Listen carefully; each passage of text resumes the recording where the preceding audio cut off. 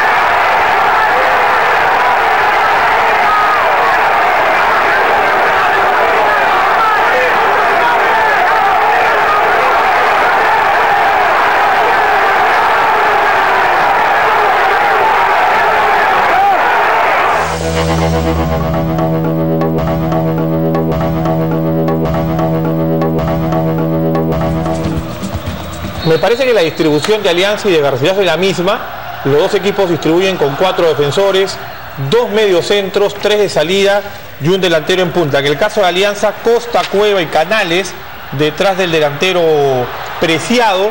Y en el tema de Garcilaso, eh, Valverde, Sarmiento y Ramúa detrás de Sandoval que hizo de falso nuevo.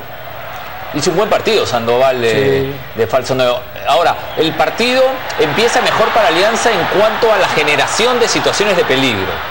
Este es apenas a los tres minutos.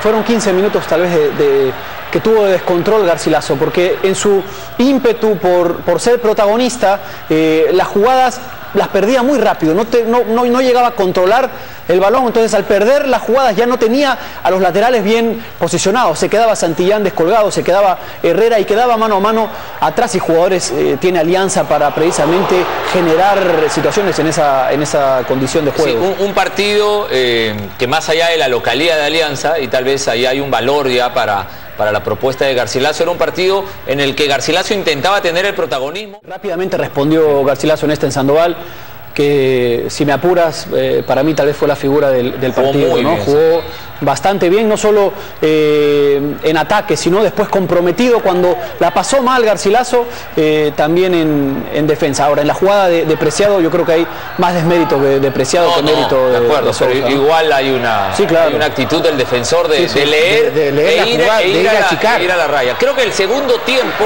el segundo tiempo se hace eh, el, el dominio de, de Garcilaso hasta encontrar el gol se hace, se hace evidente, se hace notorio. Se veía que Garcilaso podía encontrar el gol. Ahora, hablábamos de, de la decisión de jugar con Auber en reemplazo de, de Ortiz para tener un poco de mejor pase en el medio y creo que también fue buena la decisión de que juegue Sandoval en esa posición Es de 9 porque ha disimulado muy bien Soso la ausencia de Carando en estas primeras cinco Es que a fechas. Sandoval tú no lo referencias. Acá lo vemos eh, llegando a atacar el espacio por el lado izquierdo. Sandoval, cuando vamos a ver el gol de Lojas, de cabeza, se grafica bien a Lojas, picando al primer palo, al vértice del área chica, pierde la marca el jugador de Alianza que es Miers, y el centro de Ramúa, que es el asistidor mayor del club, le permite eh, sacar esta ventaja. Tiene Lojas 14 goles ya en primera división. Seis goles de Lojas, seis goles de Lojas en el año, todos a partir de una asistencia de Ramón. Cuando, cuando no es un partido previsible para Alianza, cuando el rival lo sorprende, a mí me parece que a Sanguinetti le faltan recursos.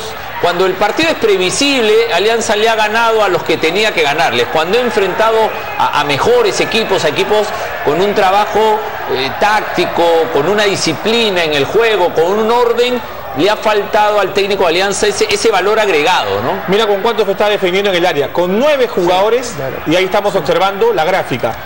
¿Cuántos jugadores de Garcilaso terminaron defendiendo en zona de control? Era Bueno, uno en 5-4 rebote. ya ahí, Vicente. Era Sí, 5 defensores, 4 adelante. Pero mira, estás hablando de 10 jugadores en esa zona de control y en la zona de rebote. O sea, ya Garcilaso termina muy metido atrás y Alianza sigue encontrar ni siquiera en el juego aéreo una respuesta de Mauro Gequiosian. Ni siquiera para ganar rebotes ofensivos. Y aquí, Y aquí empieza todo, empieza todo el descontrol. se desvirtúa totalmente el partido, la verdad eh, es lamentable después lo- los sucesos, ¿no? Porque eh, me parece que el árbitro estuvo bien, el árbitro estuvo correcto en todas sus, sus decisiones, se puede en todo caso interpretar que tal vez merecía por la reacción retamoso la roja, pero en las expulsiones eh, estuvo el árbitro acertado. Claro, ahí se ve que responde, pero también lo agreden. Yo creo que Costa se compra un lío ajeno, que es el lío de Míguez. Por eso se expulsan a los Y de ahí viene esto, que, que- que no, no, no, Esto está de más. no suma nada, por el contrario, descontrola mucho más a los jugadores, a los jugadores eh, de, como dicen, de Sanguinetti, a Míguez, a Miers, ¿no? Y, y hay un descontrol, un descontrol total, ¿no? Él Ahí- dice que, yo que también- debieron expulsar a Retamoso, está diciendo Sanguinetti. Re- Retamoso también debió ser expulsado, porque creo que repele la agresión, pero es mucho más criticable lo de y aquí mira, mira. Aquí hay un codazo y el árbitro aquí comete un error porque expulsa a Miers no por el codazo terrible que le mete a Sandoval, sino lo expulsa por lanzar la pelota. Es cierto, lo termina expulsando igual, pero, pero lo expulsa. Ojalá que cuando los jugadores de Alianza vean el video se den cuenta de, de- de las terribles entradas que tuvieron. Sí, Y levantar la mano, mira lo que hace Araujo. No, Yo lo votaría Araujo por, por irrespetuoso. Ojalá se todo- logre ver bien. Mira, ahí le hace un túnel. No, Pero esta todo nace no. en el túnel, Sí. ¿no? Todo, todo nace en esa Pasa que lo desquició Sandoval Está en juego, a es, es una Esta regla es la de juego. Esta es la repetición más elocuente. Ahí está. O sea, O sea, mira, es mira, mira el juez asistente. roja directa, Daniel. Mira el juez asistente cómo le marca, con qué determinación le marca. eh, eh, un, un descontrol supuestamente de los jugadores extranjeros de Alianza, que no lo digo por la nacionalidad, sino que los extranjeros llegan a un club a marcar una diferencia. Eso es lo que se le pide a un jugador extranjero. Y aquí- Futbolística. futbolística, futbolística, totalmente. Y aquí otra patada absurda de Miguel, absurda, abajo. Eso no es alianza. A mí lo debieron expulsar antes.